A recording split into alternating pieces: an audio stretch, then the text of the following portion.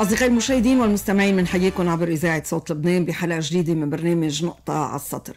الخوف عند المواطنين اللبنانيين عم بيكبر خصوصا المرضى منهم آه، اندلاع الحرب بغزة وعلى الحدود آه، الجنوبية للبنان. هل ينذر بأمر آه، خطير على القطاع الصحي؟ صار في اجتماع بهالخصوص. كيف عم تتحضر اليوم المستشفيات لحتى ممكن أنه تستوعب أكبر عدد ممكن من المصابين. هيدا كمان عنوان رح نطلع عليه اليوم مع ضيفنا نقيب أصحاب المستشفيات الخاصة المهندس سليمان هارون. أما ملفنا فهو عن موضوع النزوح يعني هل لازم يعني المواضيع اللي فيها خطر وجودي باعتراف المسؤولين والمعنيين بلبنان خطر وجودي على لبنان وعلى اللبنانيين يهدد مصيرهم مصير وجودهم بلقمة عيشهم بصحتهم؟ هل يعني لازم ينوضع على الرف لأن يعني الأمن اليوم بخطر وخصوصا على الحدود اللبنانية وبغزة. كيف عم يتعاملوا مع هالموضوع؟ اليوم كمان النزوح الداخلي شو عم تعمل البلديات؟ في رفض كمان من بعض البلديات لاستقبال النازحين السوريين من البلدات الجنوبية الحدودية. هل هيدا رح يولد انفجار؟ غيرها من العناوين اللي راح نضوي عليها بالإضافة إلى اقتراحات اليوم القوانين اللي عم تتقدم لمجلس مجلس النواب بخصوص آه، النزوح. اليوم مع ضيوفنا آه، النائب الياس جرادي وزير المهجرين بحكومة تصريف الأعمال آه، عصام شرف الدين. اليوم النائب الياس حنكش رئيس بلدية رميش ميلاد العلم وغيره من المعنيين. إذا البداية إلى القطاع الصحي وهو الأهم. أهلا وسهلا فيك نقيب أصحاب المستشفيات الخاصة المهندس سليمان هارون. أهلا وسهلا فيك عبر صوت لبنان. صباح الخير لك وللمستمعين يعني بظل الوضع اللي آه، عيشته آه، أو عايشه القطاع الصحي بلبنان هل المستشفيات اليوم يعني بقدرتها التعامل مع حالة حرب استجدت؟ شوفي ما, ما في جهوزية مطلقة يعني. قبل كل شيء بيتوقف على نوعية العمليات العسكرية اللي بدها تصير. إذا بده يصير بوحشيه اللي شفناها بغزة القطاع الاستشفائي بلبنان آه، أكيد ما في آه، يصمد كثير شفنا أول ما فاتوا على القطاع وبلشت الحرب على القطاع ضربوا المستشفيات عمدا يعني هذه شغلة قد ما تكون المستشفى جاهزه إذا انضربت ما في شيء بقى اسمه جنوزيه هذه من ناحية، من الناحيه الثانية خلينا ناخذ مثلا حرب ال 2006 إذا كانت العمليات العسكرية بمستوى العمليات سنة 2006 صحيح إنه المستشفيات حاليا مش كلها جاهزة وبنفس الوضع آه، يلي كانت عليه من 2006 ولكن الامكان إنه ينعمل شبكة مستشفيات تغطي كل المناطق اللبنانية يلي تقدر تتحمل استقبال الجراحة. نشوف مين المستشفيات يلي قادرة من ناحية العناصر البشرية من النواحي المادية ونتواصل معها ونطلب منها إنه ترفع جهوزيتها لحتى تكون جاهزة.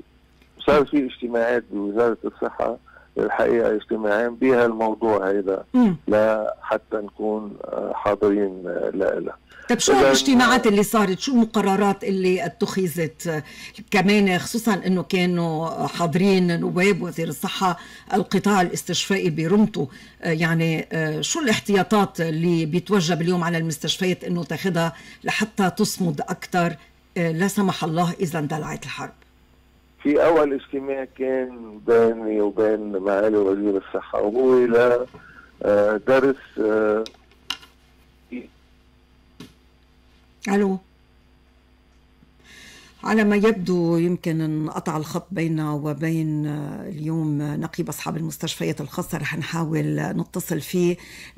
لأنه هيدا موضوع أساسي بالنسبة للبنانيين نحن يعني آه، بزمن هلأ القطاع الاستشفائي مترهل موازنة وزارة الصحة كمان يعني منا موازنة بتقدر القطاع الاستشفائي خصوصا بالمؤسسات آه، والمستشفيات الحكومية آه، يصمد كتير معولين على القطاع الخاص شو أسفرت هالإجتماعات شو الخطة ألف وباء اللي انوضعت وخصوصا إنه نحن عم نحكي كمان عن موضوع دمج المستشفيات. شو يعني دمج المستشفيات؟ لأن في مستشفيات مش قادرة تكمل بظل الوضع الخطير اللي عايشينه بلبنان على آه، القطاعين يعني الاقتصادي والمالي. جعل العديد من المستشفيات مش قادرة تصمد إلا المستشفيات الكبيرة. فاليوم إذا لا سمح الله صار في حرب. شو هي الاستعدادات خصوصا بموضوع المستلزمات الطبية اليوم قد إيه ممكن آه، إنه تضاين؟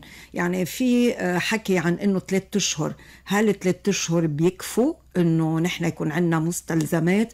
آه، ماذا عن المستشفيات الجوالة اللي لازم تكون موجودة خصوصا بالمناطق الجنوبية؟ كمان يعني كيف لازم يتعاملوا بهالإطار؟ كمان يعني كل هالإجتماعات لوين رح تودي؟ للحقيقة نحن رح نرجع نتواصل اليوم مع ضيفنا نقيب أصحاب المستشفيات الخاصة المهندس سليمان هارون. يعني مجددا كنا عم نحكي عن الاجتماعات اللي صارت بين القطاع الاستشفائي برمته ووزير الصحة. فدخلنا بالتفاصيل. إيه ما بعرف أي ساعة انقطع الخط بس كنت عم بقول إنه صار في اجتماعين. اجتماع اولا بيني وبين معالي وزير الصحة لحتى نحكي عن كيفية جهوزية المستشفيات وكيف نعمل شبكة اللي حكينا عنها بكل المناطق. والاجتماع الثاني جمع كل العاملين الان جي اوز والمنظمات العالمية اللي عاملة بالقطاع الصحي بلبنان مثل منظمة الصحة العالمية الصليب الأحمر العالمي الصليب الأحمر اللبناني Médecins Sans Frontières Médecins إلى آخره.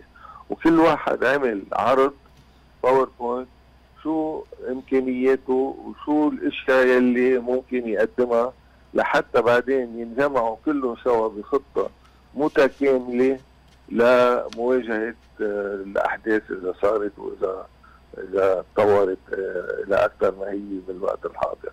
يعني أنا اللي بقوله إنه بإختصار إنه أكيد ما عندنا جهوزيه مطلقة ولكن نتأمل إنه نوعية العمليات العسكرية إذا لا سمح الله صارت تسمح للمستشفيات إنه تضلها تقدر آه، تستقبل مرضى وتقدر تتحرك.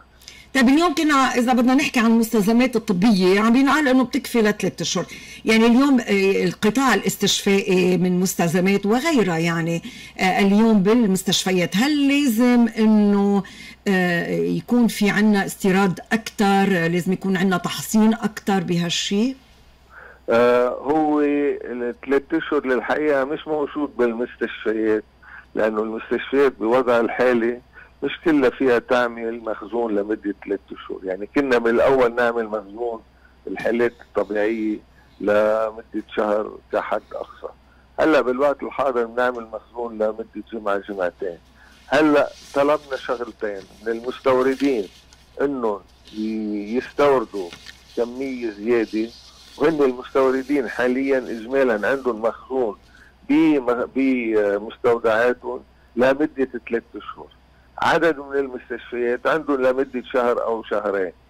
أه ولكن المخزون الموجود حاليا بفتكر منه عاطل يعني أه مطمئن نوعا ما. راح يرجع يدعم من قبل المستشفيات ومن قبل المستوردين. نعم. ليش عم بينقال مستشفيات المواجهة بلبنان لا تصمد أكثر من 72 ساعة يعني بحالة الحرب؟ يعني ليه هالكلام عم ينكتب وينقال ويتعمم؟ ما قلت لك ما في جهوزية مطلقة كله شيء نسبي. مم. حسب حسب شو شو الحرب يلي بدها تصير. يعني الحرب الوحشية يلي عم بتصير بغزة يعني ما كان حدا بيتصور بالعالم إنه بتصير إنه بيستهدفوا آه، سيارات الإسعاف استهدفوا على الفوتي أربع مستشفيات طلبوا من مستشفى مثلين جرحى الإخلاء. يعني هيدي بحالة مثل هيدي أي مستشفى بتقدر تصمد؟ لا 72 ساعة ولا أقل ولا أكثر. اذا يعني نحن بنتوقع إنه آه يكون في قساوه بالمعارك. بس قديش هي هالقساوه نحن ما بنقدر نعرفها مسبقا. آه، نحن علينا آه، تحضير وهذا عم نعمله. نعم. هلأ شو بصير؟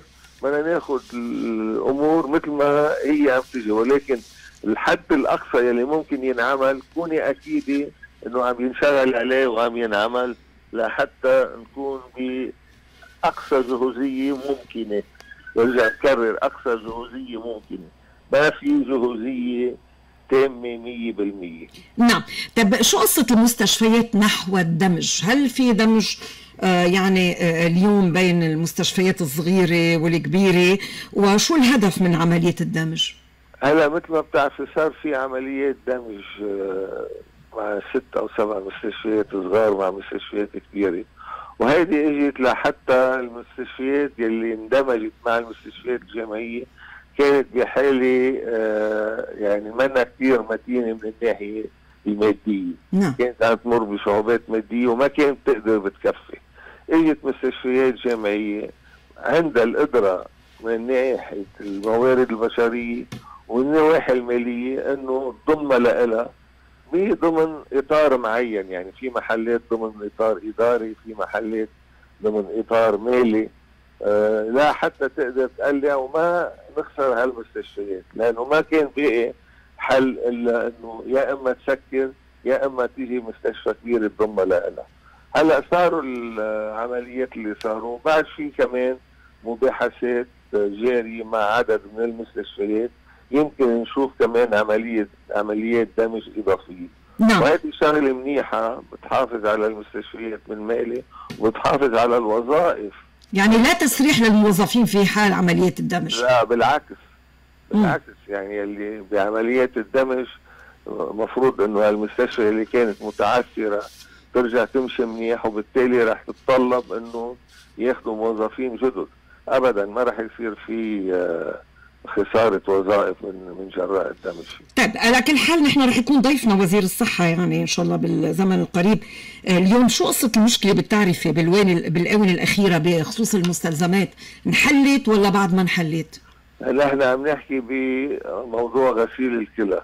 لا للأسف ما انحلت بعد وبعدنا بالمفاوضات فيها. نعم. هذا موضوع خطير جدا جدا يعني. موضوع غسيل الكلى مرضى غسيل الكلى قصتهم دقيقة كثير وما ما يعني والمشاكل ما لازم تطول لازم تلاقي حلول. نعم. عم نتفاوض نحن والضمان الاجتماعي وكمان مع معالي وزير الصحة ل حتى نلاقي حل لهالأمر هذا. إن شاء الله. بالقريب العاجل شكرا لك نقيب أصحاب المستشفيات الخاصه المهندس سليمان هارون اصدقائي المشاهدين.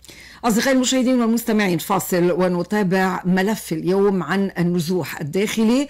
والنزوح السوري بلبنان النزوح الداخلي يعني من المناطق الجنوبية واقتراحات القوانين بشأن النزوح والائتلافات اللي عم تعمل اليوم كيف بدها تصير واقع؟ لاقونا بعد هالفاصل مع النائب الياس جرادي ومعنيين.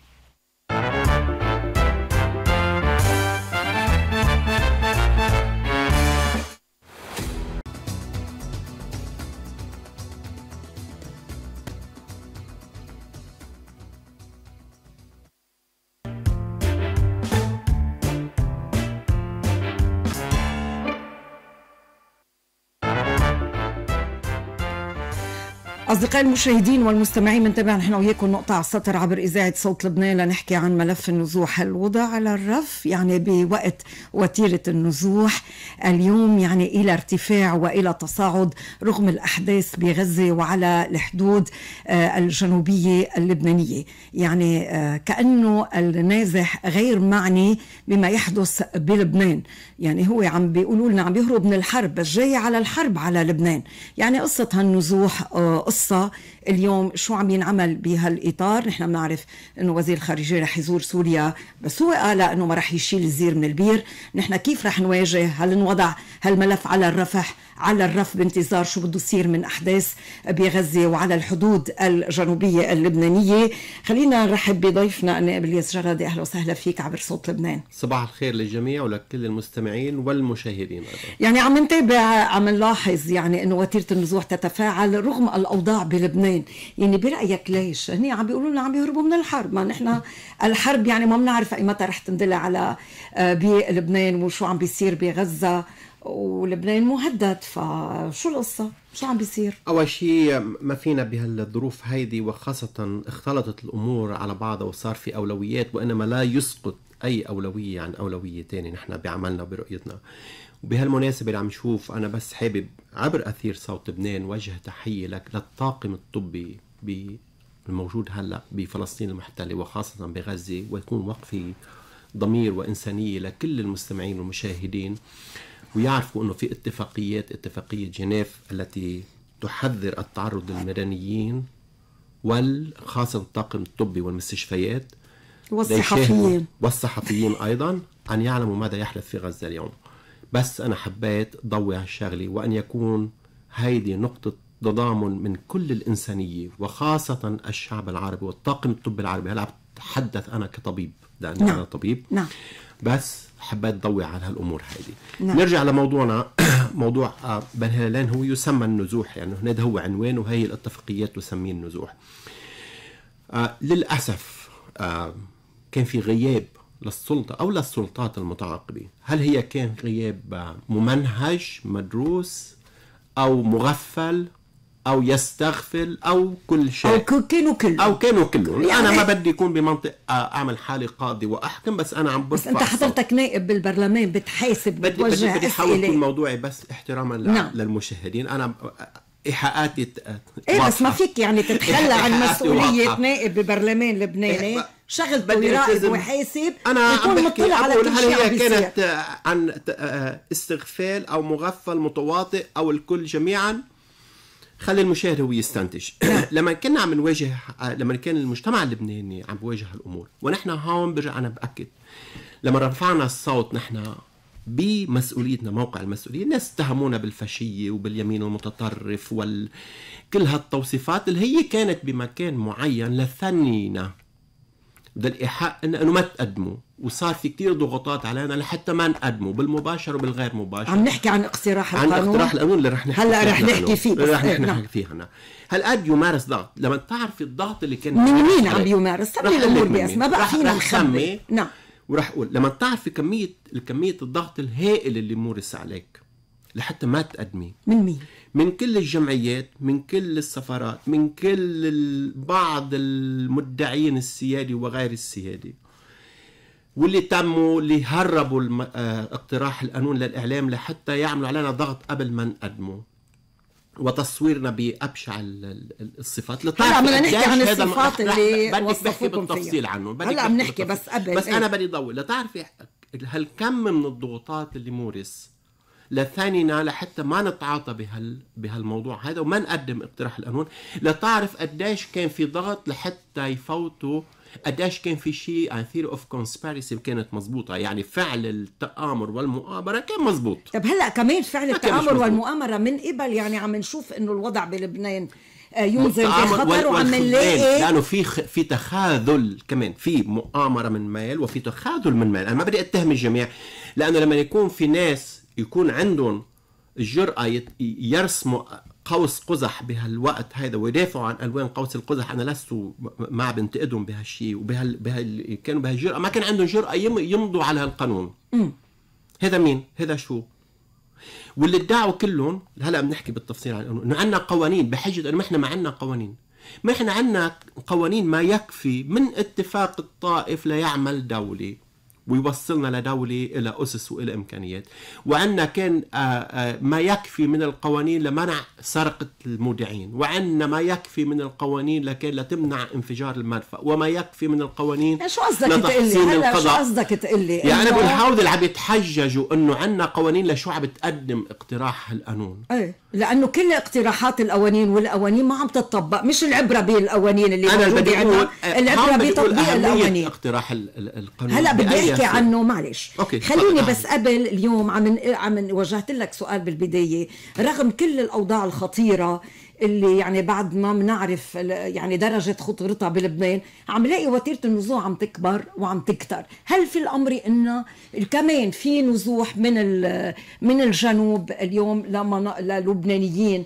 موجودين هونيك عم بيروحوا السوريين يقعدوا ببيوتهم. وفي نزوح من السوريين كمان على يعني مناطق أخرى. عم نحكي عن خطر انفجار ممكن يصير بالداخل من وراء قصة النزوح. ما هيك؟ وكل ليس فيها أكثر من إنه. ما انت كمان عم توحي إلى ما قوليها دغري بشكل مباشر. لا مقصود كل هالعمل. ما هيدا اللي لما أنا يكون يمنع على الح... لما يمنع على الحكومة وعلى المؤسسات اللبنانيه أن تتعاطى على الأقل تنظيمه. على الأقل تنظيمه ممنوع.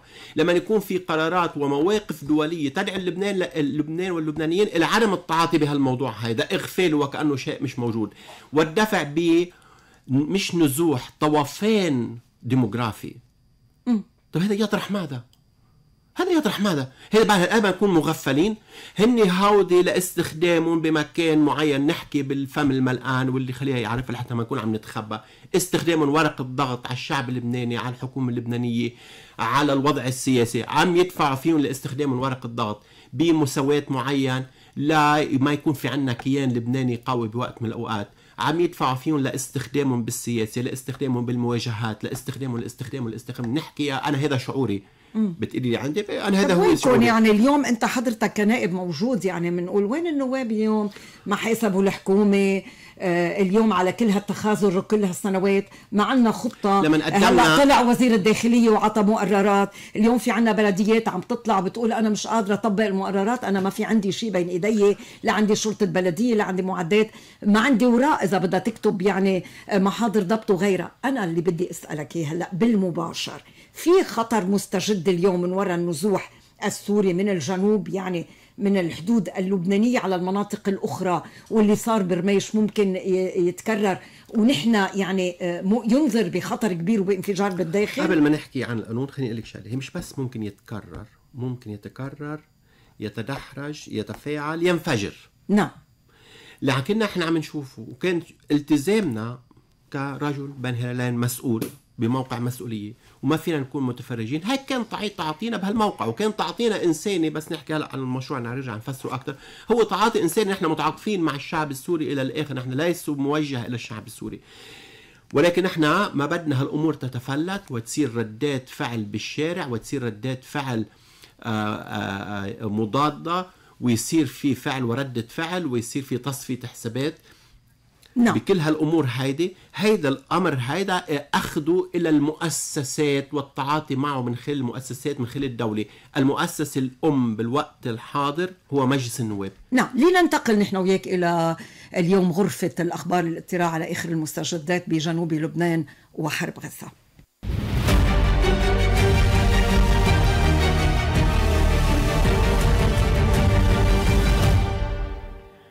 إذا مواكبة لما يجري في غزة أفاد الجيش الإسرائيلي عن خطة لإخلاء 28 مستوطنة قرب الحدود مع لبنان. وبعد الإعلان عن وقف إطلاق النار في جنوب غزة اعتبارا من التاسعة صباحا للسماح بخروج مدنيين عبر معبر رفح أكدت حركة حماس قبل قليل أن لا معلومات لديها بشأن الاتفاق على هدنة إنسانية. في وقت نصحت السفارة الأمريكية في إسرائيل رعاياها في غزة بالاقتراب من معبر رفح إذا كان ذلك آمنا. ابقوا معنا لموافاتكم بكل جديد.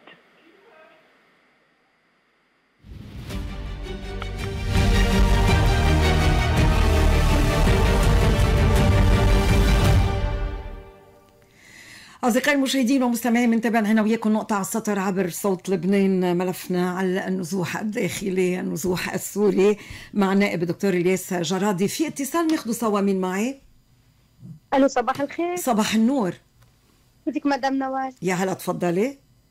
بدي رد بس على نقيب المستشفيات. لا نحن هلا عم نحكي عن النزوح. لا بس لحظة بس لحظة بليز بس تفضلي لياخذ عبرة.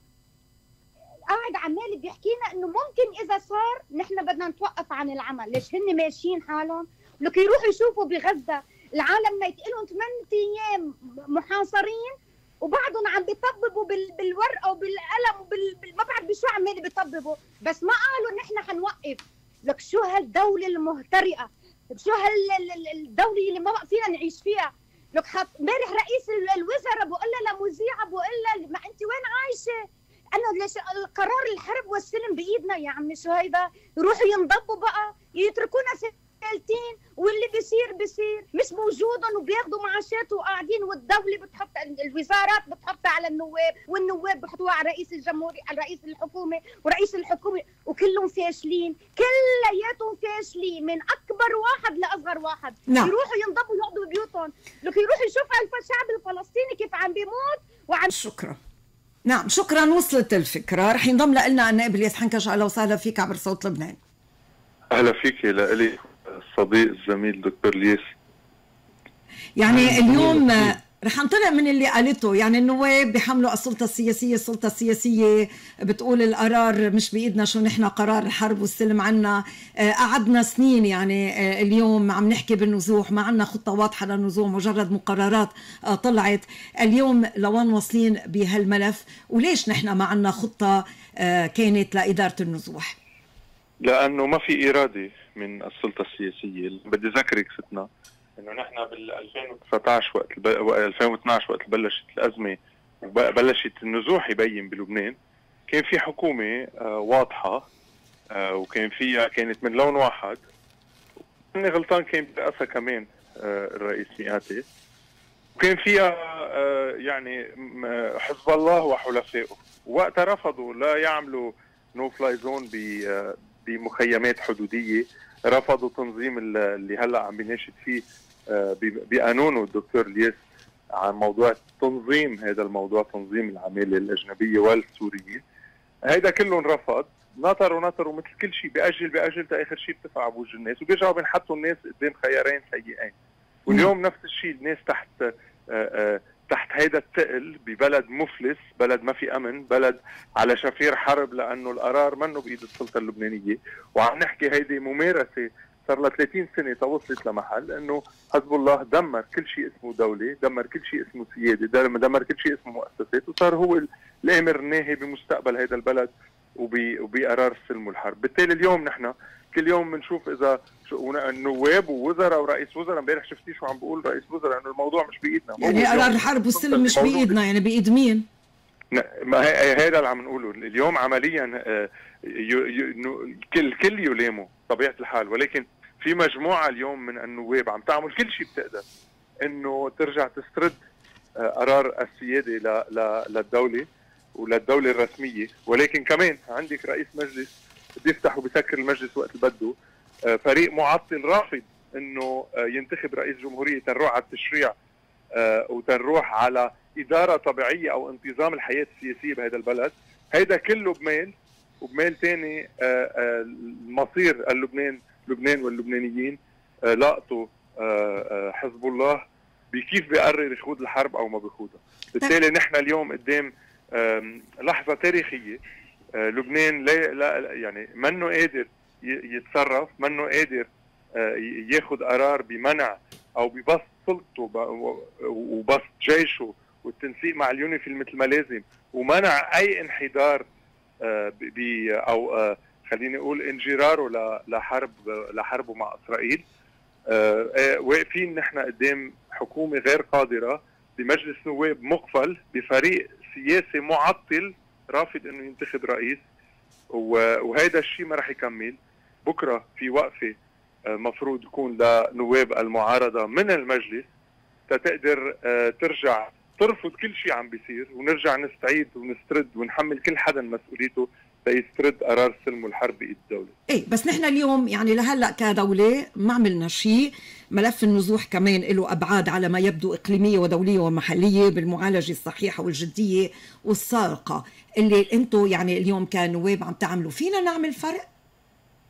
طبعا فينا نعمل فرق. اليوم اليوم عندك اللي واضح كثير اليوم القوانين حتى الموجودة اللي كثير عندنا كمان ملاحظات عليها ولكن موجودة وبدها تطبيق.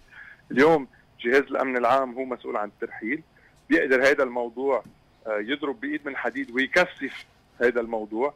اليوم الدول واضح إنه يو ان اتش سي ار وفي اتفاقات أصلا دولية وفي اتفاقات مع ال UNHCR ولبنان. ليس بلد نزوح هو بلد عبور. نعم. ونحن ما بنقدر نتحمل هذا الوزر.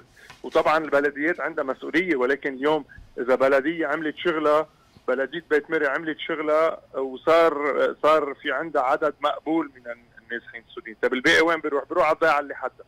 هذا موضوع بده قرار مركزي هذا موضوع آه، في سيادة آه، هذا البلد هذا موضوع مع كل مع كل آه، تقديرنا لكل الأشخاص اللي تحت الخطر يلي بعتقد لازم نقويهم أو نحميهم.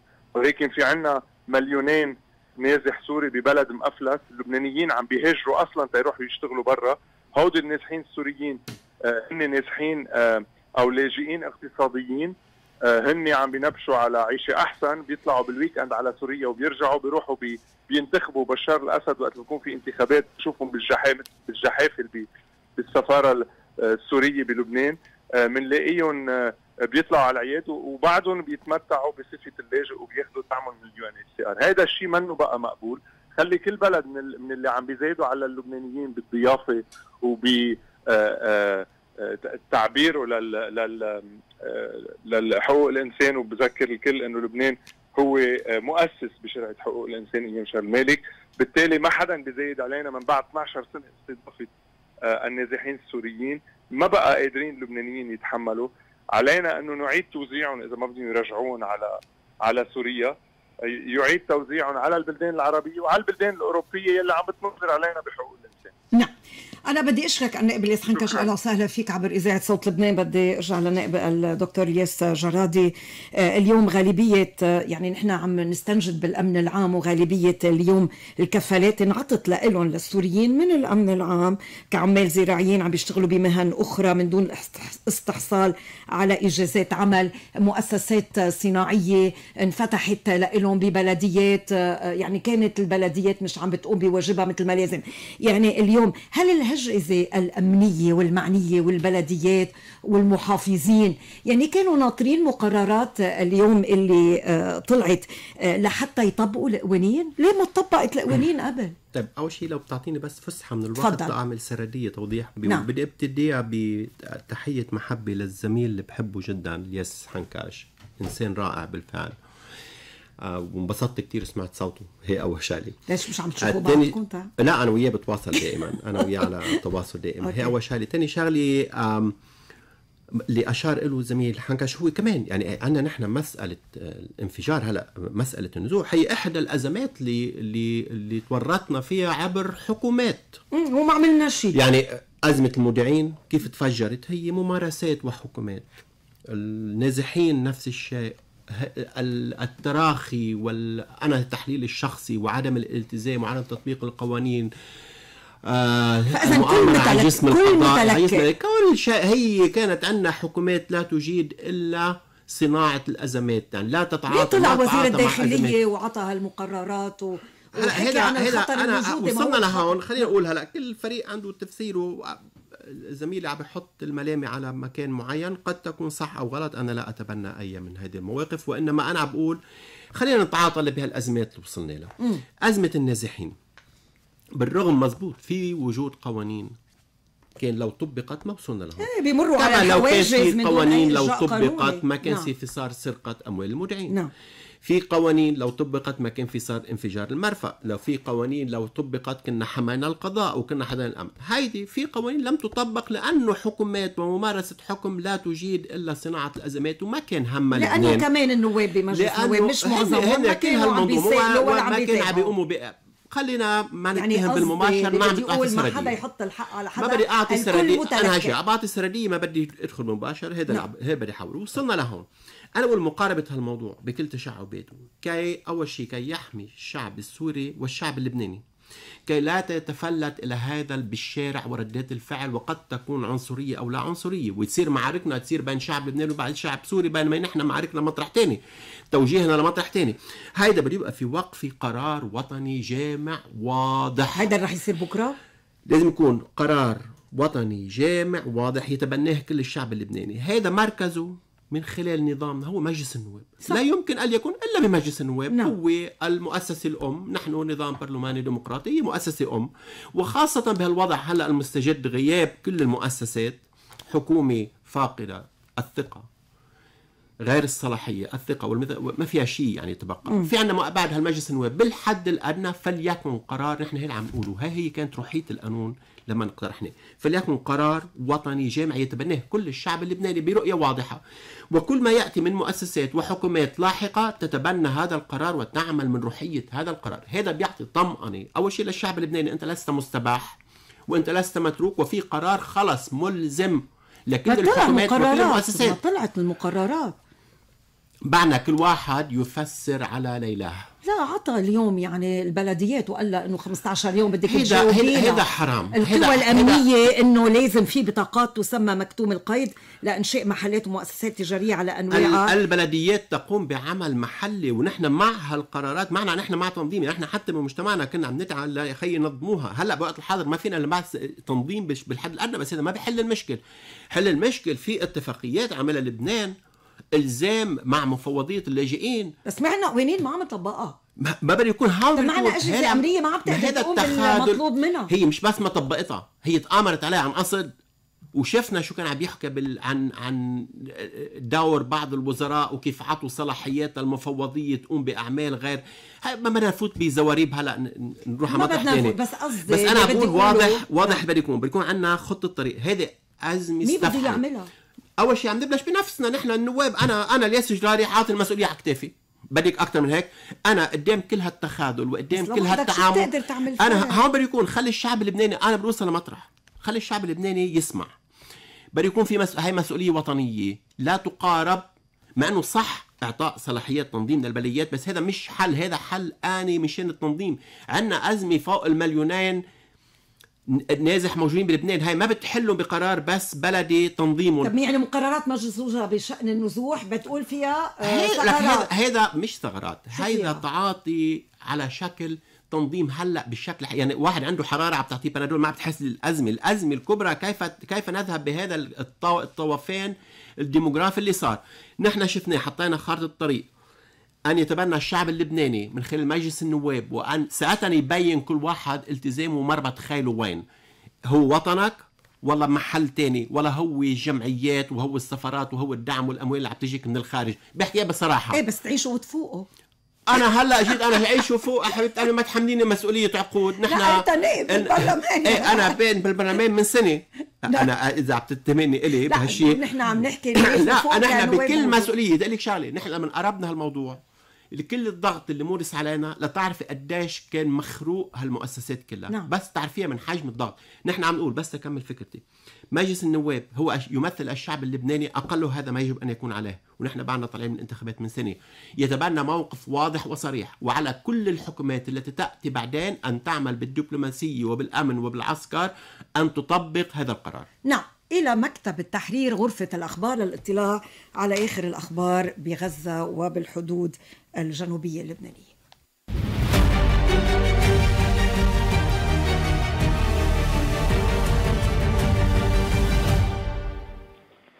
متابعة لما يجري على الحدود الجنوبية أعلن الجيش الإسرائيلي عن تفعيل خطة لإجلاء سكان الشمال الذين يعيشون على مسافة تصل إلى 2 كيلومتر من الحدود اللبنانية. وأكدت مصادر مصرية لرويترز الاتفاق على وقف للنار لخمس ساعات بالوقت الذي نفت فيه حماس علمها بالهدنة. إلى ذلك أعلنت شركة الميدل إيست أنها أبلغت الطيارين بأنهم قد يحطون في أي لحظة بطائراتهم في مطار تركيا. هذا كل شيء حتى الساعة.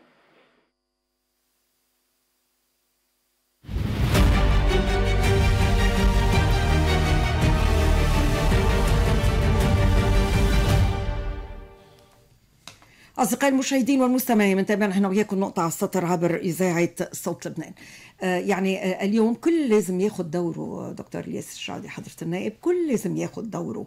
يعني مجلس النواب لازم ياخذ دوره المحافظين لازم ياخذوا دورهم القوى الأمنية لازم تاخذ تاخذ دورها البلديات لازم تاخذ دورها يعني اليوم أدوار متشعبة للكل وهيدا اللي بيعمل فرق. في ائتلاف وطني لمعالجة النزوح السوري طلعت عليه يعني مدمن هلا في في عدة أمور.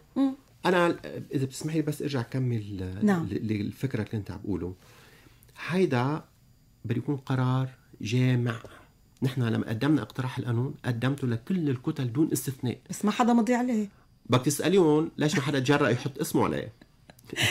هذا هذا السؤال بدك تصيروا له مش لإلي إيه، بس بس بكرة بكرة؟ بيقولوا بكرة بيقول بكرة ببين الثلج وببين المرج بكرة رح يتقدم بدوب بإذن. الله رح يتقدم بيوم من الأيام على التصويت العام ب- بجلسة عامة وتنشوف مين بس السؤال ليش تجرأوا يحطوا أساميهم على قوانين آه آه ألو أنا سميتها ألوان قوس القزح نعم. ما تجرأوا يحطوا اسمهم على هيك قضية جامعة وطنية وفيها مسؤولية هو اقتراح القانون يعني اليوم اللي قدمته هيك؟ شو بيقول بترحيل اللاجئين السوريين هيك؟ المطالبة بترحيل اللاجئين ال- السوريين وينص على إلزام الحكومة اللبنانية لمفوضية شؤون اللاجئين بتوطين السوريين في بلد ثالث خلال سنة من إقراره هيك؟ أنا بس بدي أقول لك لما أنت في عندك هيدا الاسباب الموجبة، الأسباب الموجبة هي واضحة لحتى ما حدا يتهمنا بمطرح معين، لبنان عامل اتفاقية مع مفوضية اللاجئين. نعم. وهودي الكلمات موجودين بالاتفاقية مش من عنا. يعني ما جبتهم من عندك. مش- هلأ بدنا نحكي عن العيوب بس قبل خلينا نتواصل نحن اللي أخذ كمان موضوع النزوع على عاتقه وزير المهجرين عصام شرف الدين. أهلا وسهلا فيك تحية عبر صوت. لبنان. عم لإله. بيحييك يعطيك العافية. شكرا لكم يعطيكم العافية. أهلا نعم. يعني. اليوم لا خطط وطنية لا استراتيجيات موحدة آه، لمعالجة أزمة النزوح بلبنان. آه، مش هيك آه، حضرة آه، الوزير عصام شرف الدين؟ يعني حضرتك بتمنى لو أنا است- أستطيع منح ان آخذ الموضوع على عاتقي لأنه للأسف الحكومة ما في قرار سياسي جدي انه يكون في حلول. نحن كوزارة مهاجرين قدمنا الحلول. ولقينا الموافقة من الدولة السورية وغطيناها بالقوانين والأعراف الدولية اللي عم يحكي عنها ضيفك الكريم.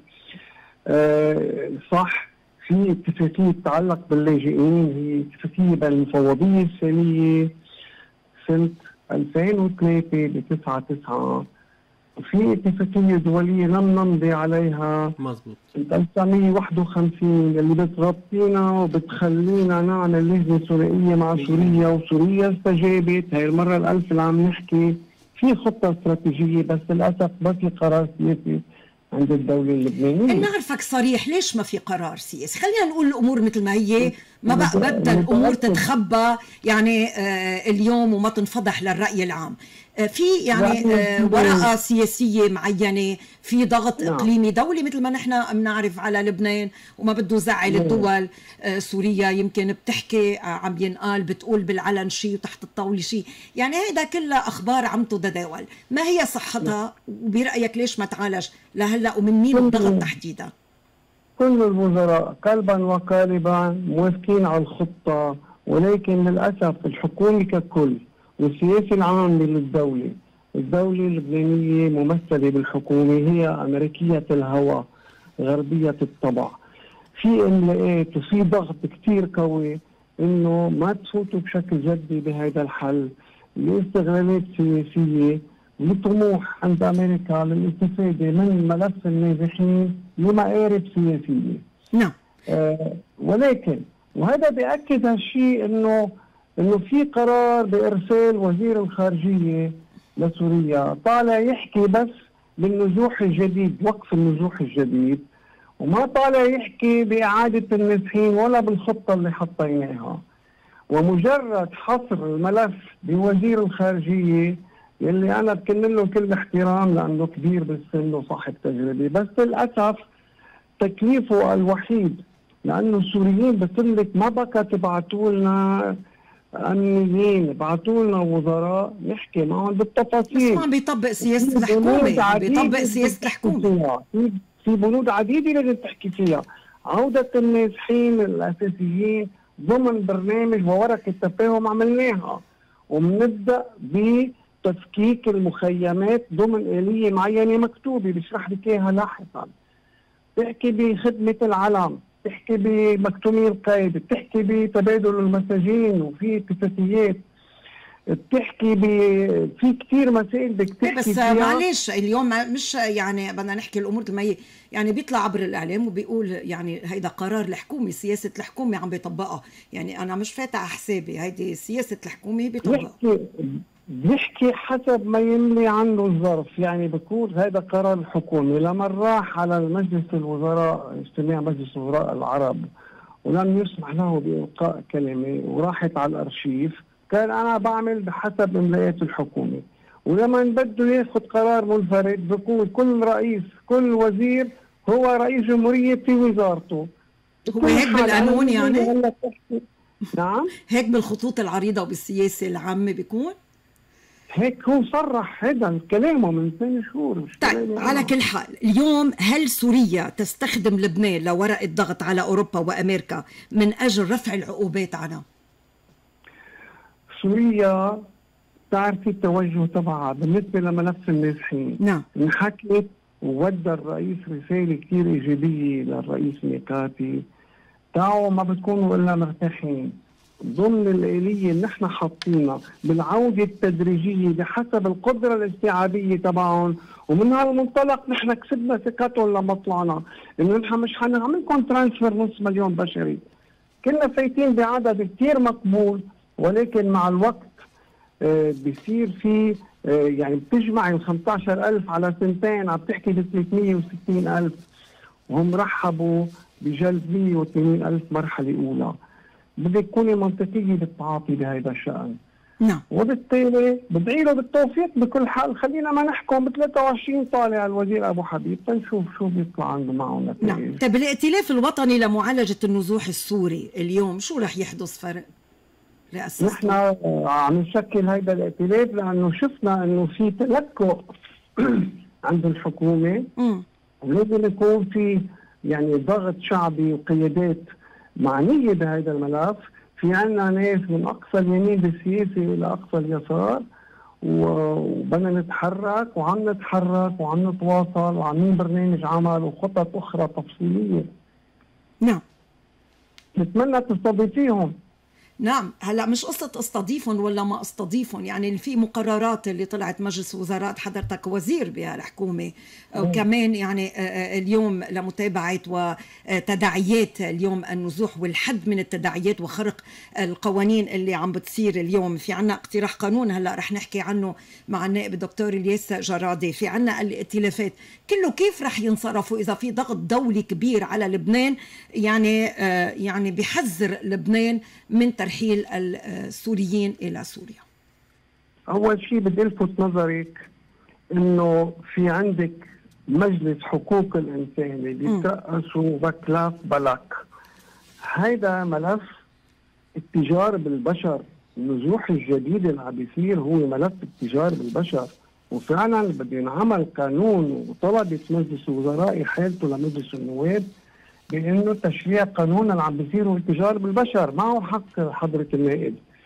بعدين في عندك شغلة ثانية في هيدا بده يشكل خطر وجود النزوح بلبنان على الأمن القومي بدايه من أوروبا لأنه إذا انفتح البحر المراكز البحرية رح يتأذوا كثير كثير ألمانيا مش قادرة تحمل مليون نازح على أرضها اللي نعم. بتعدي 80 مليون. وعم بتصوت على إبقائهم بلبنان. وهيدا معايير مزدوجة بتحاسب عليه.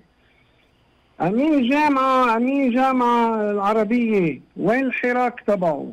وين الحراك تبعه هلأ بموضوع غزة اللي هو طاغي؟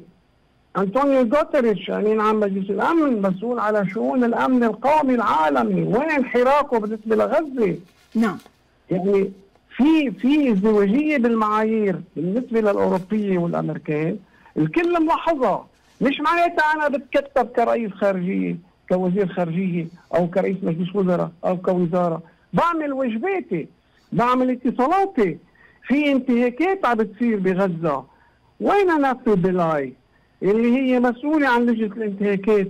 لأنه نحن ما عم نحرك دبلوماسيتنا، أنت بتعرفي إنه دولة وحدة من الدول المعنية إذا طلبت من مجلس حقوق الإنسان اجتماع طارئ. بصير في اجتماع طارئ؟ انت بتعرف دولة عظمى. وين وين روسيا؟ وين الصين؟ وين الهند؟ إذا دولة عظمى وحدة بتطالب بمجلس الأمن بانعقاد مؤتمر مشان غزة بصير في مؤتمر. نعم. للاسف للأسف في معايير مزدوجة. انتهاكات بتصير أوه بأوكرانيا انتهاكات ويا لطيف وبتقوم الامه بيقطعوا المي بيخربوا الدنيا. بغزة بيقطعوا المي بيقطعوا الكهرباء بيقطعوا الطرقات المساعدات. ما حدا بيحكي. نعم طيب معايير اليوم شو. الخطورة؟ المواطن اللبناني خايف من انتقال الحرب على الحدود الغرب هو مجرم بحقنا. نعم. بحق الشعب اللبناني والشعب السوري حتى النازحين. ضحية القرارات الجائرة للغرب. نعم. معالي الوزير. إحنا نحن وقتنا ما فينا نسترسل كتير يعني بس رح باختصار هل اليوم من خطورة من اندلاع حرب؟ بأي حال تندلع الحرب لا. بلبنان؟ ما في خطورة؟ عم بيقول لي النائب لا الياس جرادي. حضرتك. بالنسبة للحدود نعم اللبنانية إيه مع- باختصار إذا سمحت لأنه انتهى الوقت. نعم. قد إيه لفت نظرك المناوشات أنا بعتبرها مناوشات اللي حصلت ابتداء من المطلي نعم. للعديسي للبهيرة لمارون الراس لعيت الشعب لعلم الشعب بأقصى الجنوب. هي مناوشات مش أكثر والسبب واضح وصريح. إسرائيل بتخاف إنه أي هجوم بتعمله يرتد عليها عكسيا لأنه عندنا القدرة اليوم من خلال المقاومة إنه إذا سببت حرب وهي بدأت إنه نحن نقدر نأخذ الجليل بفترة وجيزة. نعم شكرا لك. نعم شكرا لك وزير المهاجرين عصام شرف الدين. آه عندك تعليق ولا ندخل مباشرة؟ بس لو تسمحي لي حطهم تفضل. بمكان أول شيء آه، شوفي كيف عم بيكون النقاش وهذا هو مشهديه النزوح السوري آه، أزمة النزوح السوري يعني الأزمة اللي وصلنا لها آه، الغرب شو بده الغرب؟ شو عم بيضغط علينا؟ الحكومة شو عملت؟ هو إحنا أنا بدي أقول بمطرح تاني أنا شو كان موقفنا اللي حملتينا إياها المسؤولية؟ أنا عارف شو في بالغرب وشو بده عارف باوروبا شو بدها اللي تفضل فيه ال- ال- الوزير وقالوا إنه ألمانيا مش قادرة تحمل مليون. آه، قبرص قال صار في عنا 5% نحن بأزمة.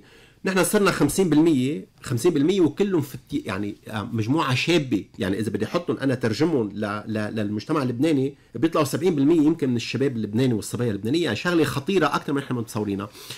وغير متعلمين متفلتين ما في لهم مطارح. يا عمي هذا ظلم أول شيء على الشعب النازح السوري. بس هذا كله شو عم بيعمل المجتمع الغربي؟ أنا ما بدي أقول شو بدي فيه بس أنا حاطه على جنب. بس نحن شو عم نعمل؟ تلكؤ ولا. نعمل؟ الحكومات شفت التراشق بالمسؤوليات وتراشق بالمسؤوليات من الحكومات. أنا ما بدي إجي أحطها بس بآخر حكومة. أنا عم بقول خلينا ناخذ نقطة وطنية. من هلأ نبتدي نحط الجميع قدام مسؤولياتهم؟ هيدي مسؤولية بناخدها. نحن عم نشوف برجع أنا بكرر لحتى ما ضلنا نحمل بعضنا وشي بنحطها بالبلديات وشي بالوزير هون. قرار وطني جامع يجمع بيعطي غطاء للكل. كلنا بنفاوض فيه. بنواجه ما يطلع عن البرلمانات ال- الب- ال- الأوروبية اللي عم بتحاول تحملنا نحن بتحملنا بمواجهة إذا كان عندنا مشكل مع النظام السوري تفضل روح حلوها. نحن عندنا مصلحة وطنية. نعم. عندكم مشكل مع الأوروبية روح حكوا معهم. بس نحن قرارنا واضح بده يبقى لا لبس فيه. رح نحكي بعد ما ننتقل إلى غرفة الأخبار والمستجدات بغزة وعلى الحدود آه، مع لبنان. رح آه، نحكي عن المشروع القانوني اللي قدمته بشأن آه، ملف النزوح. أصدقائي المشاهدين والمستمعين منتابعين نحن عم لكم نقطة على السطر عبر صوت لبنان مع النائب الدكتور الياس جرادي اقتراح القانون قدمته عم نحكي بآب إلى مجلس النواب لترحيل النازحين السوريين آه، شو موجباته؟ ليه قدمته؟ ليه تهمت بالعنصرية كمان؟ وما حدا مضي عليه واسمحي لي آخذ كل نقطة فيه سألت. فيهم بس أعطيني حق الرد الرد. لحتى الشعب بالفعل يسمع نعم. اول شيء في شيء اسمه أسباب موجبة أسباب الموجبة والرئيسية هو في قوانين واللي اشار إلى الوزير وزير المهاجرين وكان وأنا مشكوره على إضاءته عليهم. أول شيء في آه، اتفاقية مع مفوضية اللاجئين. أول شيء تسميه نازحين. تسمي أنه لبنان هو يستقبلهم ماكسيموم لمدة سنة. وإعادة الوضع الحلول لعدم بقائهم بلبنان لأنه لبنان لم يوقع على اتفاقية اللاجئين. لبنان. ما هؤلاء حاولوا يهاجمونا وكذا. كمان نحن ملزمين إنسانيا لنكون كتير واضحين وأخلاقيا وكل شيء اللي عليه اضطهاد إن كان سياسي أو أمني. يرحل. ما نوجد له حلول. هذا ب- بس بالقانون اللبناني هذا مشكلته مع الأمن العام. يعني هذا ملفه يؤخذ على الأمن العام. الأمن العام بده يعطي له جو آه، سياسي بلبنان بده يتفا- يتفاوض مع ال- المفوضية له مكان آخر. هذا هو موجبات القانون. هلا ما بدي احكي عن الموجبات اللي وصلنا لها اجتماعيا صار الكل لحتى ما اكون يعني ما طلبت بترحيل النازحين السوريين أنا طلبت تطبيق الاتفاقية التي تنص على التالي إنه بيبقى لمدة سنة هون بعد هالسنة بده يكون بنعيد هذا الملف لمفوضية اللاجئين وهي أن تتكفل بإيجاد مكان آمن له داخل سوريا. فوالا ما بتنص بداخل سوريا يكون بس أنا بدي أحملها هي المسؤولية بدي أحملها هي المسؤولية وبدي أحمل المجتمع الدولي المسؤولية والمجتمع العربي المسؤولية والنظام السوري المسؤولية بدي أحمل كل الناس المسؤولية. أنا كلبناني. ليه ما بتبلش تحمل مسؤولية عنا. ما أنا عم باخذ المسؤوليه هلأ بدي إيش ارجع لحتى ما ضلني أقول وتقاذف مسؤوليات. خلص، okay. يعني هيدا تقاذف المسؤوليات بتمنى نوصل لمطرح نقدر نحاكم. نعم. بس أنا مثل بيقولوا حطيتها هيدي على كتافي وعم باخذها على كتافي بالرغم كل التهجم وكل الضغوطات إيه بس ضربت من بيت من بيت أبيك. من بيت أبيك مش أول مرة بس أقول لك. ضربت من بيت ما حدا مضي عليه. ما حدا مضى لا وهربوه مش لو مضى هن هربوه كمان. واتهموك. أنا- أنا بس حطيتهم إياه للمنا... للمناقشة لبعض النواب يوجه لهم الخير.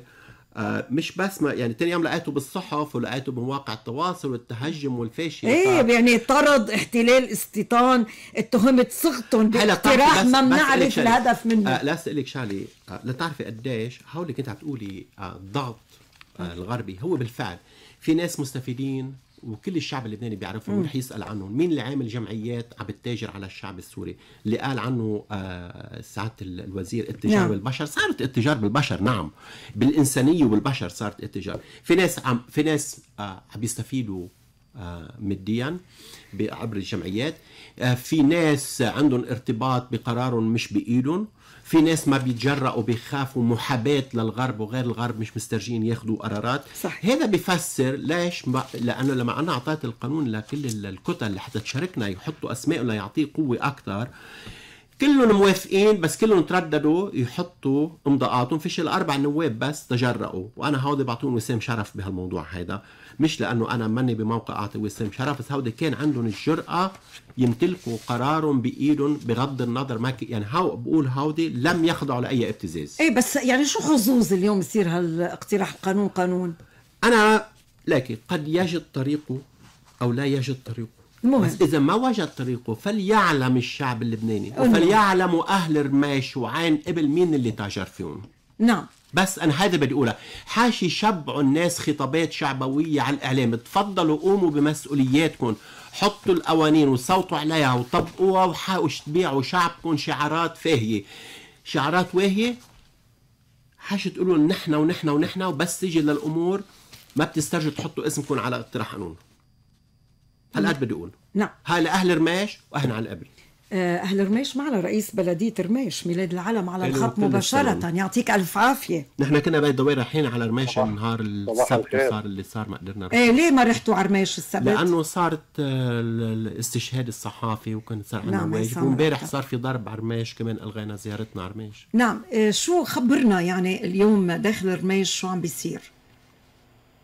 آه، أول شيء صباح الخير لكم وللمستمعين ولضيفك آه، سعادة النايب آه، خير دكتور جادي صباح الخير. أول شيء دكتور نحن أول شيء ما بنسمح لحدا يتاجر فينا. نحن شعب آه، أول شيء خلقنا عنا كرامة وبنموت عنا كرامة. ما بنسمح ولا لأي شخص يتاجر فينا ولا ولا يعمل صفقات على حسابنا ولا على ظهرنا. إحنا تحملنا كل الحروب اللي قطعت وكل المشاكل وكل الكرايزس إيكونوميك اللي مرقت على على البلد. وما ما نطرنا مني من حدا ولا حدا اجى وقف حدنا. نعم. فمنشان هيك بالموضوع ال- خاصة بموضوع النزوح السوري. امم يعني شو عملتوا أنتم والنازحين؟ صار في إشكالات يعني آه، اليوم بينكم وبين النازحين السوريين؟ أكيد لأنه اليوم اليوم وقت النازح السوري بده يعمل آه، نزوح عكسي. امم وطالما هو سالم من بلاده من الحرب كيف عم يكب حاله على الحرب برماش وعلى الجبهة وعلى تحت القصف و... عفوا كيف عم بيجوا على لبنان اذا هن عندهم أزمة عم بيجوا على المجتمع عنده أزمة أكبر. ما هيدي يعني سألناها عنده- ببداية الحلقة. نعم هو هربان من الحرب شو جاي يعمل بالحرب؟ كيف كبب حاله على جبهة حرب طويلة عريضة؟ مم. وقصف عم ينزل وهو عم يكب حاله تحت النار. آه نحن من الميل الإنسانية أول شيء فكرنا بهذا الموضوع رجعناهم. فما يكبوا حالهم نحن تعرضنا للقصف رجعتوهم لوين؟ للبلدات رجعناهم للبلدات اللي نزحوا محل ما؟ إجوا محل ما إجوا صحيح امم آه وهذا الموضوع يعني عنده يعني متشعب يعني أول شيء آه هول الجماعة شو جايين يعملوا؟ وليه جايين؟ وليه قرروا وقت اللي بلشت الحرب يجوا يفوتوا بهالأعداد؟ نعم يعني في كذا سؤال بينسأل وين القوى الأمنية؟ يعني مش آه، هلا عم نسأله من زمان. وين البلديات؟ يعني اليوم البلديات صراحة صراحة سلطة محلية آه، يعني اليوم في ناس بتستأجر بتستأجر ما معها آه، أوراق ثبوتية آه، في ناس عندها مكتومي القيد كمان بيعملوا اللي بدهم إياه بهالورقة. وين البلديات؟ كمان البلديات مش معظمها في بلديات كانت حاضرة نحن ما بنعمم بس في بلديات ما كانت عم بتقوم بما يملي عليها. نعم. هيدي الشغلة الوحيدة اللي عم تنطرح بوسائل الإعلام هي مش مضبوطة وين البلديات، اليوم نحن مش آه، يعني منا آه، دولة. أول بس محلية معه- على معه بالموضوع. البلدية نعم. البلدية عندها ثلاث البلدية عندها ثلاث أربع شرطية. اليوم إذا معالي الوزير أو حيالله وزارة عم تعمل آه، تعاميم وبيانات حبر على ورق بدون تطبيق هيدا رح الشيء مش تحاسبكم مقبول. بعد وآخر 15 شيء- يوم. لا هو اليوم. بيقولوا لنا بي- بيكبوا لنا للبلديات للبلديات للبلديات. ما في ولا ولا دركي من مخفر بيطلع ولا عسكري من وزارة من من مخفر بيطلع. كيف هالمنطق هيدا؟ في سرايا وفي كتايب وفي كل شيء ب- ب- بالجنوب بس إذا إذا أنتم ما طلبتوا. أنتم عم تطلبوا يعني لما أنتم ليه ما بتطلبوا نحن طالبين رسميا ب ألف كتاب رسمي موجود عندهم مم. وما حدا تحرك ما حدا بيآزر البلديات. كيف البلديات بدها تقوم إذا سوريا أكثر من عدد السكان؟ بس ما شفناكم اعترضتوا على المقررات اللي طلعت. مين؟ نحن اعترضنا ونحن وجهنا كذا نداء بوسائل الإعلام إنه هون التعاميم مش مش بس حبر حبر على ورق. نعم. لأنه اليوم إذا اليوم في عندك فصيلة طويلة عريضة ببنت جبال عم بعطي اكزامبل لأنه نحن فوق. وعندك سرية سور وعندك مغافر. وكل ما تتصلي بحدا بقول لك مش همي أنا وما عندي محل وفي اكتظاظ وفي مدري شو. آه هيدي كلها هيدي القصص كلها مدبرة. أول شيء مش والله بنت اليوم. في تعليق وين- في تعليق من النائب الدكتور لي. يجرد اول شيء تفضل تحيه لبلديه رماش ولرئيس البلدية ولكل القرى الجنوب والشريط الحدودي اللي هلا هو صامد. أنا معه 100% هذا تقاذف المسؤوليات وحط على البلديات. شو بتقدر تعمل البلديات؟ كيف عم تحطوها على البلديات وهن يعني البلديات يعني, يعني إحدى. نماذج البلديات الناجحة هي رماش بدها تأمن الكهرباء وبدها تأمن المي وبدها تأمن بدها توقف ضد النزوح السوري. يصير عندها السلطه وإذا صار في مواجهات ميكي هاي مسؤولية قانونية للدولة اللبنانية بتتبناها بتعطي تعليمات أنا ما عم بحكي كمان حدا البلديات مقوم بس إنه شو قادرين شو قادرين ياخذوا. هلأ موقف بلدية رماش وعن قبل وغيره من القرى على الحدود وتحت الضر شو قادرين ياخذوا مواقف؟ هيدا كب على البلديات تهرب مسؤوليات. أنا هيك كنت قالوا معلش ريس إذا كنت عم تسمعني أنا ما عم بقول عنكم بس كنت عم بقول خلي الشعب اللبناني يعرف مين كان عم بيتاجر فيه ما عم بتوجه لفئة معينة كنت عم بتقول إنه كل الدولة اللبنانية تخاذلت و يعني خلينا نحكي بشكل عام بالشعارات. الكل يعني اليوم إذا بدك تستأجر محل وما عندك أوراق ثبوتية وما عندك شيء يعني مخالف لقوانين وهيك ما بتقدر البلدية توقفه طيب ما هيدي تخليه هيدي ما- أنا نحن أعطيك- بالطب بنسميها أعطيك disease مثل. not the disease. إذا يعني هيدي عوارض المرض وليست المرض. نعم. المرض في نزوح في طوفان هائل قد ينفجر برماش بعد قبل بكرة بالأشرفية بعد بكرة بالبقاع بعد بكرة بالضحيه سوف ينفجر بأماكن كثيره نعم خلينا نعطي الرد لرئيس بلدية رميش ميلاد العلم وبعدين بدنا نعطي الحلول. حضرنا دقيقتين للحلول. مين معي؟ أنا اليوم تفضل. أنا اليوم طبقت طبقت القانون طبقت التعاميم اللي اصدرها معالي وزير الداخليه وين راحوا السوريين اللي أنا شلتهم من رماش وبده يروح نعم. مين استلمهم؟ شو ال- يعني شو شو المعيار اللي بدهم تعتمره الدولة؟ آه شو الطريقة؟ كيف بدهم يرحلون؟ أنا كلهم شلتهم طبقت التعميم 100% راحوا على ضيعة ثانية شو عملت أنا هنا ما عملت شيء. نعم.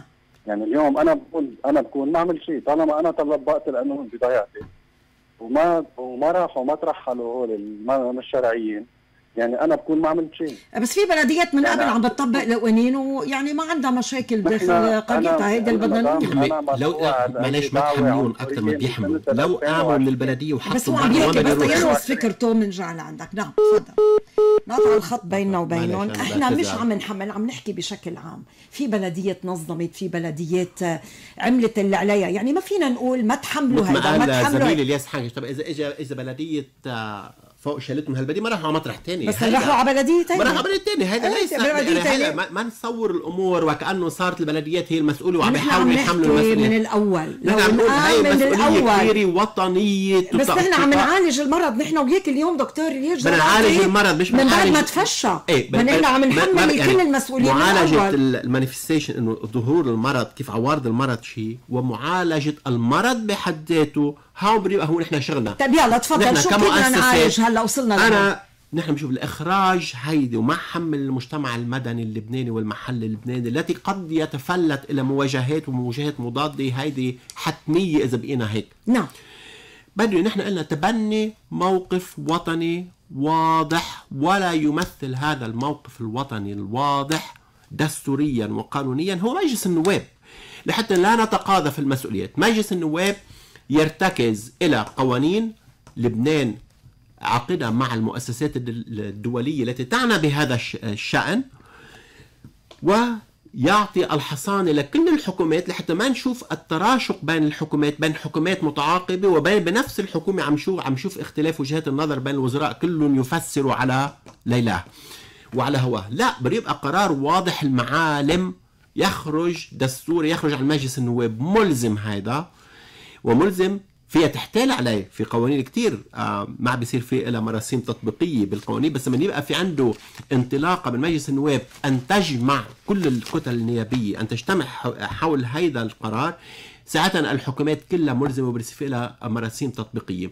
وأكثر من هيك أنا بدي أقول خلي يبان الثلج يدوب الثلج ويبان المرج. خليه يعرف مين بأيد أن نأخذ خطوات عملانية فعالة من أجل حماية النازحين السوريين لحتى ما يفكرون أنه نحن غير إنسانيين ونحن عم نتآمر لا نحن مع حماية النازح السوري ومع حماية المجتمع اللبناني. حماية النازح السوري مثل ما تفضل فيه آه، زميلي مزبوط. إذا هو بمأزق وقالوا كمان ال- الرئيس رئيس بلدية آه، آه، إنه هو إذا أنت جاي من بلدك نتيجة ضغوطات اقتصادية وأمنية كيف عم تيجي لعندي وأنا بهالأزمة هيدا؟ خلي المجتمع الدولي هيدا يتحملها. أنتوا عم تدفعوا بهاو النازحين من أتون حرب إلى أتون فقر وحرب وتفلت. هل تحرك مجلس النواب رح ي... والنواب رح يعمل فرق؟ هذا السؤال بتجاوب عليه الأيام اللي جاية. الأيام مش اللي مضبوط. نقطة على السطر. إن شاء الله أن يلتزموا الجميع وحاش يبيعوا شعب أوهام. شكرا لك النائب الدكتور الياس جرادي. لهون بتنتهي حلقتنا أصدقائي المشاهدين والمستمعين. إلى اللقاء بكرة مع حلقة جديدة.